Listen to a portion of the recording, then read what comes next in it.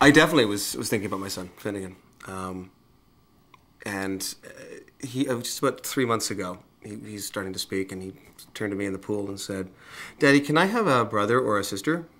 And it just like it just killed me that that this is a something he knew how to say, something that he knew how to want, and that it was my job and my wife's uh, to deliver at that, and and that when we do, it will be unbelievable. I remember, I remember my own brother in my arms uh, when I was when I was six.